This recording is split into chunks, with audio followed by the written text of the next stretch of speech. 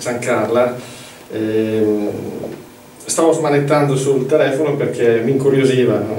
eh, visto che tanti stavano giocando col telefonino. Provate ad andare a vedere, digitare articolo 2 Trattato di Lisbona. Ogni tanto fa bene riferirsi a quelle che sono la, la carta costitutiva sostanzialmente dell'Unione Europea, perché si danno per scontate certe cose, oppure non, non si è al corrente di alcune cose che sono state fissate nella decisione di vivere assieme dei popoli europei. Io lo leggo perché è interessante vedere. Allora,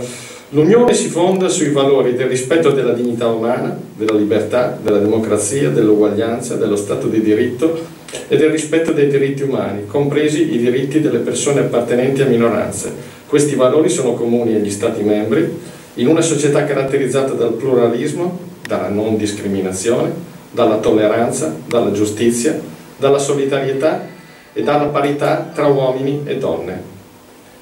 Poi prosegue, l'Unione si prefigge di promuovere la pace, i suoi valori, di cui abbiamo detto prima, e il benessere dei suoi popoli. L'Unione offre ai suoi cittadini uno spazio di libertà, sicurezza e giustizia, senza frontiere interne, in cui sia assicurata la libera circolazione delle persone insieme a misure appropriate per quanto concerne i controlli delle frontiere esterne, l'asilo, l'immigrazione, la prevenzione della criminalità e la lotta contro, quest'ultima. Ultimo, mi riferisco adesso, leggo un, un altro comma e dice l'Unione instaura un mercato interno, si adopera per lo sviluppo sostenibile dell'Europa, basato su una crescita economica equilibrata e sulla stabilità dei prezzi, su un'economia sociale di mercato fortemente competitiva, eccetera, eccetera. Ecco. Per chi non fosse stato a conoscenza di, di tante cose, direi che essendo tutti eh, persone che eh, si muovono, penso, nell'area ecopacifista questa sera, e mi sembra che alcune parole, alcuni termini ci siano dentro, ma alcuni valori che sono valori fondanti di quello che è stata e quella che dovrebbe essere l'Unione Europea. Ecco perché quando ci si riferisce all'Europa si dice sì, tanto è stato fatto, nessuno lo mette in discussione, ma in base proprio a quello che è scritto, tanto rimane da fare, perché se ci confrontiamo con le citazioni che ho fatto prima ci si rende conto che ci sono tante cose che mancano ancora nell'Unione Europea. E a me sembra eh, fondamentale, eh, cioè, sono tornato ieri da, da, da Bruxelles, nel Parlamento Europeo, e quando rientro, che cerco di seguire lo svolgimento della campagna, eh, campagna elettorale, beh, insomma mi, mi, mi piange un po' il cuore perché dico ma cavolo, ma perché non si possono parlare veramente delle questioni, questioni dirimente, le questioni fontanti che toccano l'Unione Europea? Perché dobbiamo essere impantanati ancora nella politica nazionale, governo sì, governo no, eccetera. E, e penso che il compito sia, sia quello davvero nostro, dei media e della stampa, di cercare di incanalare il dibattito e toccare le questioni che sono veramente adesso le questioni in ballo che riguardano il futuro dell'Europa e quello che si dovrà fare dopo, una volta che le urne saranno chiuse, una volta che ci sono i risultati. E, ed è questo che, che, è mancato fino ad oggi, almeno da come l'ho vista io la campagna, voi magari avete un'opinione diversa perché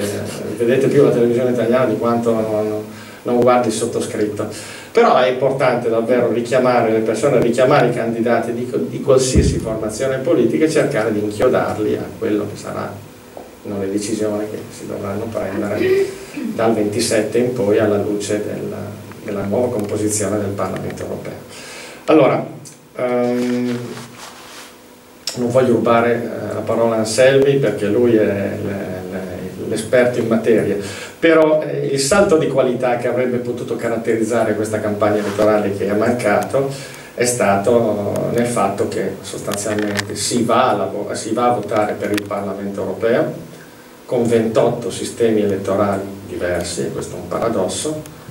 rinchiusi, con campa 28 campagne elettorali rinchiuse in 28 opinioni pubbliche diverse. Opinioni pubbliche diverse che faticano, nonostante 70 anni di integrazione, ancora a comunicare fra di loro per ragioni di lingua, cultura, storia e tradizione. Questo è il tallone d'Achille dell'Europa questo è il vero tallone dell'Achille dell'Europa. Allora si era cercato, visto che fra tutti gli organi che compongono l'Unione Europea questo è l'unico ad elezione diretta, quindi è l'unico per il quale si fa campagna e si scelgono i rappresentanti, tutti gli altri sono organi di secondo grado oppure altri organi che vengono eletti in modo diverso. Uh, um, era importante che ci fosse una campagna, campagna che fosse la stessa, proprio perché si elegge un, unico, un organo unico in tutti i paesi dell'Unione Europea. Eh, faccio una breve cronistoria di quello che è avvenuto prima, nel senso che il salto di qualità di questa campagna elettorale, di, questa, di questo appuntamento avrebbe dovuto essere la presenza di un, di un piccolo numero, però simbolicamente importante, di deputati da eleggere a livello transnazionale, ovvero sì, avrebbe dovuto esserci le liste nazionali, in collegi nazionali, più una cinquantina di deputati, così erano state la proposta, un listino da eleggere a livello transnazionale. Questo avrebbe fatto fare il salto di qualità alla campagna elettorale, sicuramente, perché eh, avremmo espresso un doppio voto, un voto per i rappresentanti che noi stessi eleggevamo dalla circoscrizione italiana, nel senso lato della parola, e un certo numero di deputati scelti dalle famiglie politiche con liste transnazionali e, e sarebbe, avremmo avuto la possibilità davvero di avere dei rappresentanti che rappresentassero veramente l'insieme delle opinioni pubbliche europee cercando di creare la base per una opinione pubblica europea che non esiste. Non esiste, la vediamo, la vediamo perché mh, il discorso che faccio spesso, eh, noi ancora oggi ascoltavo il, il, GR intanto che venivo qui e il primo titolo era ancora sulla nave, lo sbarco, porti chiusi, eh, questione delicatissima, importantissima, ma questa è una questione che vince i titoli di testa sulla stampa italiana, ma se voi andate sulla stampa tedesca sulla stampa finlandese, di questo non si parla. Se voi andate sulla stampa polacca o sulla stampa tedesca, si parla spesso e volentieri della questione ucraina, del conflitto nel Donbass. Se voi guardate la stampa italiana, non c'è niente di questo. Come se la cosa non interessasse anche noi. Ecco, eh, eh quindi si parte da, da presupposti completamente diversi. Ci sono campagne elettorali che, sono, che non comunicano fra di loro e io penso invece che il nostro sforzo debba essere quello appunto di, avere, di cercare di avere una visione d'insieme, perché, perché l'Unione Europea si è sforzata in tutti questi anni di arrivare ad una sintesi di quelli che sono le, i bisogni e le sensibilità di ciascuno dei, dei paesi che compongono l'Unione Europea. C'è riuscita? Ma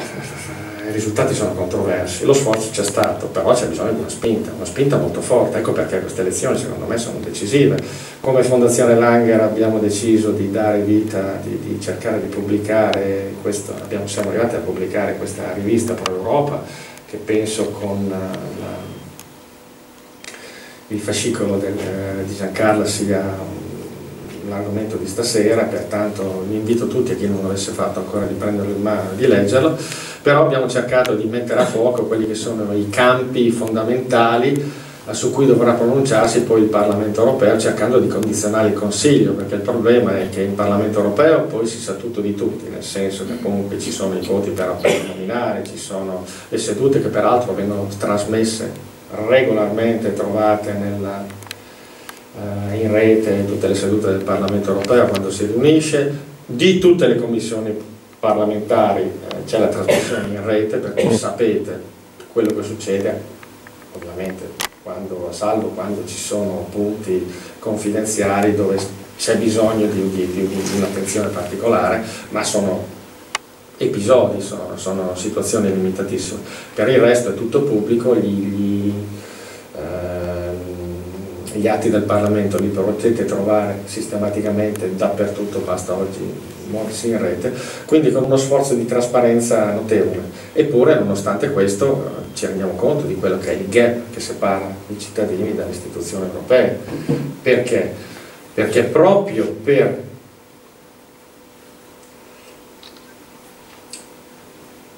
la paura di fondo, che è quella di mettere in comune troppa sovranità,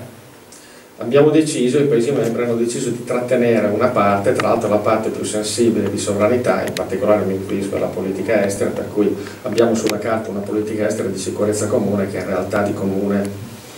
sì, qualcosa c'è, però, però insomma, le scelte forti ancora non, non esistono, nel senso che voi sapete che la politica estera di sicurezza comune è di prerogativa, di pertinenza, di prerogativa e di competenza esclusiva dei governi nazionali, nel senso che è squisitamente intergovernativa. Il Parlamento europeo viene informato di quello che succede, di solito il giorno dopo che la decisione è stata presa, neanche prima, e per cui siamo esclusi dalla cosa. E questo perché? Per volontà dei Paesi membri che non hanno voluto assolutamente cedere la politica estera dell'Unione Europea e soprattutto uh, vige il regime di unanimità, nel senso che il voto di Malta è come quello della Germania. Se Malta dice non se ne parla di questa cosa, in Libia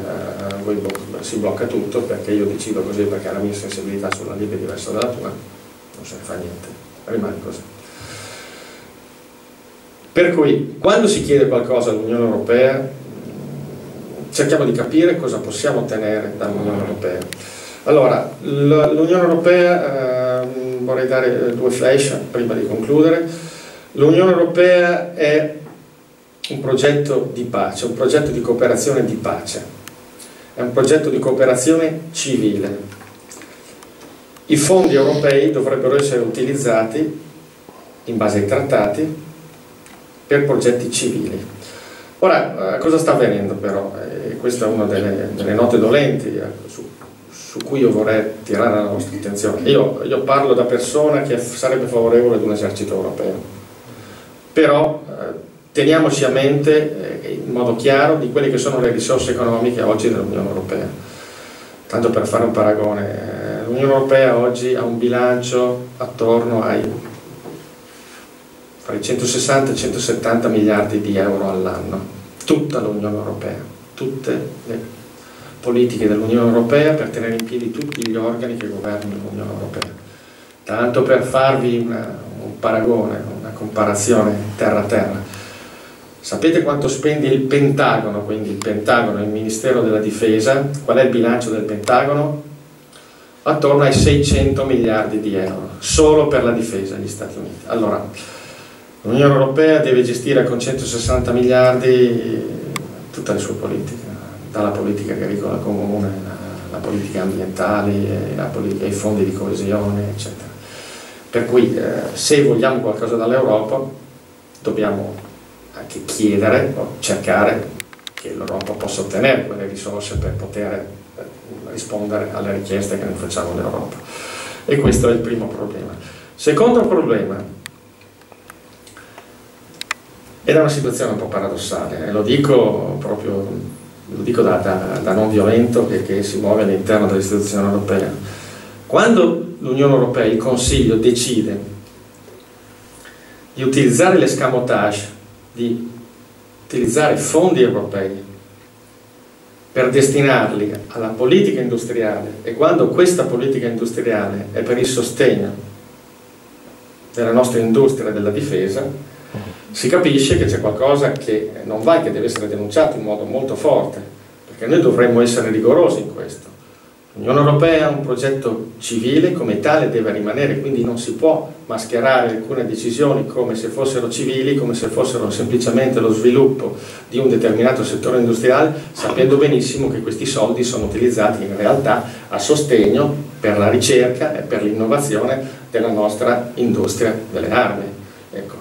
Queste sono questioni che secondo me sono questioni fondanti, discriminanti, che dovrebbero essere sollevate durante una discussione, che non ho mai sentito eh, durante questa campagna elettorale. Quando vedo che c'è un fondo europeo di difesa e che sostanzialmente è a sostegno della nostra industria di difesa, beh insomma forse c'è qualcuno, o forse si prova a, a, a, a deviare da quello che è il corso che era stato dato dai padri fondatori all'Europa e, e, dico io, io, sono è importante che ci sia peraltro convergenza è importante che ci siano pro, progetti di cooperazione anche nel settore della difesa, ma questo lo si fa al di fuori del bilancio europeo. Gli stati nazionali possono farlo tranquillamente. Perché io devo devolvere parte di un bilancio che è già ristretto per questo? E, ehm, e questo uno, sicuramente uno dei punti critici, forse più critici di quello che sta avvenendo. Ecco perché il Parlamento europeo, che adesso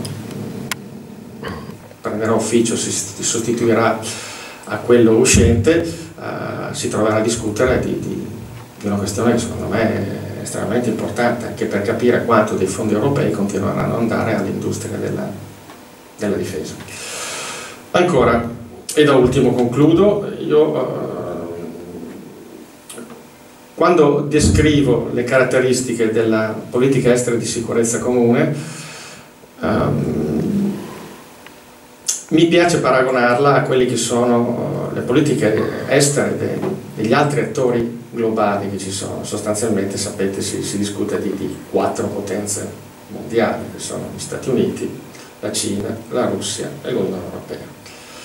Ora, se voi fate un'analisi delle politiche estere di questi paesi, vi renderete conto che per questi paesi tre hanno una politica estera fondata sulla carota e sul bastone, come si dice, carrot and stick, dicono gli inglesi, cioè sul soft power, mi collego a quello che tu dicevi Daniele prima, soft power e hard power. Poi c'è chi gioca molto sul hard power, la Russia ad esempio gioca moltissimo, anzi forse solo hard power. Gli Stati Uniti che sì, molto hard power ma anche tanto soft power la Cina è ancora un punto interrogativo, cerca adesso con la, la, famosa nuova via della seta di, di, rifarsi il volto dimenticando tutte le magagne interne di quello che sta succedendo in Cina. E, mm, e l'Unione Europea, rimane alla fine l'Unione Europea, attore mondiale, che però si muove solo con il soft power. L'Unione Europea non ha un esercito, non ha armi da spendere nel mondo se no i singoli paesi possono farlo, ma non come l'Unione Europea.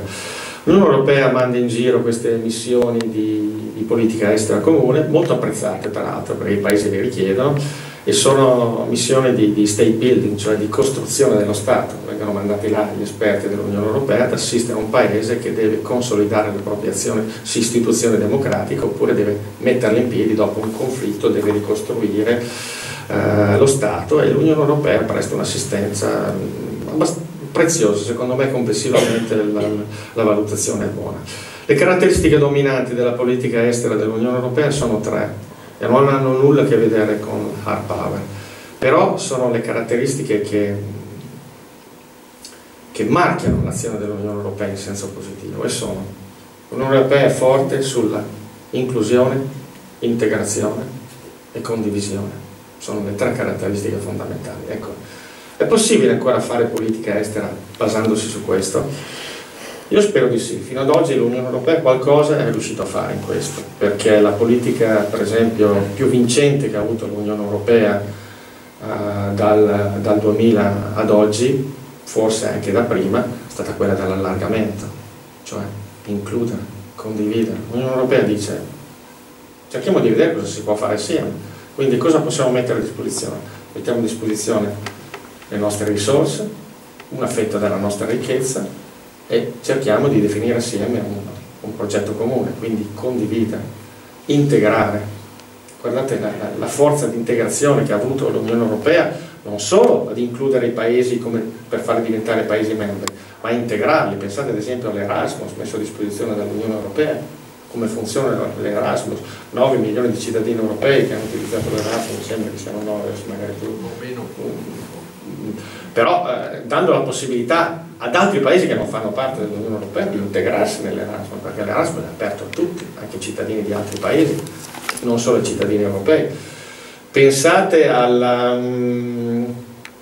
alle politiche d'allargamento, le politiche d'allargamento che servono per preparare i paesi ad entrare nell'Unione Europea, tra l'altro argomento completamente sconosciuto durante la campagna elettorale, nessuno parla di allargamento. Alle porte di casa abbiamo i Balcani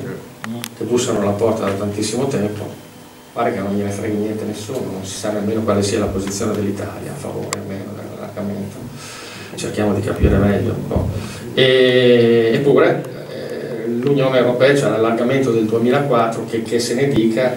eh, l'allargamento che ha, ha, sancito la fine della divisione eh, dell'Europa, è stata un'esperienza, un, un esperimento vincente con un colpo di coda. Il colpo di coda l'abbiamo visto con Polonia e Ungheria. E allora lì ci siamo resi conto di quanto debole sia l'Unione Europea, nel senso che partono le procedure di infrazione, ma non possono andare avanti, perché i meccanismi decisionali su cui è basata la funzione europea, eh, l'Unione Europea, in realtà sono talmente complicati, talmente complessi, talmente miranti a tutelare tutti, che alla fine non tutelano nessuno. Per cui far partire la procedura di infrazione, quindi far scattare l'articolo 7, che è quello che metterebbe in mora l'Ungheria e la Polonia, è impossibile, perché è fondato sull'unanimità e mai più, e mai più Ungheria o Polonia in sede di Consiglio voteranno a favore per mettersi in moto, se no la procedura è, è incredibile. Ecco, ci sono alcune cose che devono essere, forse tante, che devono essere modificate per fare in modo che l'Unione funzioni meglio. Però partiamo da queste, partiamo, cerchiamo di, avere, di mettere a fuoco meglio come stanno le cose, eh, cerchiamo di vedere quelle che sono le crepe in cui inserirci, cerchiamo di vedere quello che eh, deve essere migliorato, come ho detto prima ci sono parecchie cose che devono essere cambiate, ma utilizziamo quello che abbiamo oggi come punto di partenza, perché eh, se facciamo finta che tutto quello che abbiamo oggi è qualcosa di acquisito, dato per garantito, ci sbagliamo, perché non è vero, perché come si dice è molto più facile distruggere che non costruire.